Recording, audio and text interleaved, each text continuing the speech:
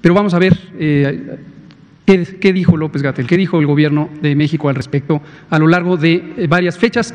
Les pido presten atención a las fechas, la primera eh, fecha, luego las siguientes y cuál es el mensaje respecto a cuándo se acabará la epidemia, que parece que es algo que desde luego es importante tener en mente. Por favor. El video se llama La epidemia larga. Y aquí quiero retomar algo que ya hemos dicho, pero para volverlo a decir. Debemos estar preparados para una epidemia larga. Esto no se va a acabar en una semana. ¿Cuánto va a durar la epidemia? Eso no es posible predecirlo con exactitud, pero sí hemos dicho desde el inicio que hay que prepararnos para una epidemia larga. Que lo hemos dicho, esta va a ser una epidemia larga y tenemos todavía dos escenarios por eh, vivir y tenemos que ir cuidando que existan los recursos, tanto financieros como materiales, para todas y cada una de las fases. Tenemos que estar preparados para una epidemia larga, lo hemos dicho en repetidas ocasiones. Hemos dicho preparémonos para una epidemia larga porque si tenemos éxito en retardar la transmisión, vamos a tener una epidemia larga. Eso no agrada mucho, pero se compensa con el hecho de que vamos a tener pocos casos en general, pocos casos al mismo tiempo y vamos a poder prolongar el momento en donde no tengamos demasiados casos.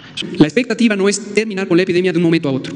También quiero ser claro que el éxito en la reducción de la transmisión, en vez de llevarnos a una epidemia corta, nos va a llevar a una epidemia más larga. La transmisión, vamos a lograr lo que queremos, que es el número de casos diarios va a ser menor al que ocurriría si no hiciéramos nada, pero se prolonga la epidemia y muy probablemente podríamos estar llegando hasta septiembre u octubre con esta epidemia, con un pico máximo quizá en el mes de agosto.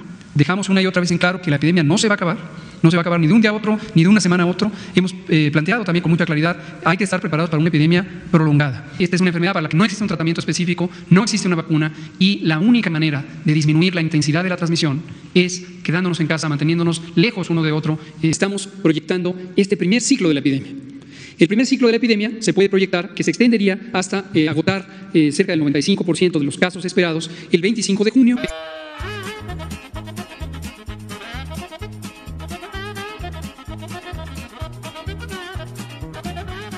Epidemia larga se llama este pequeño video.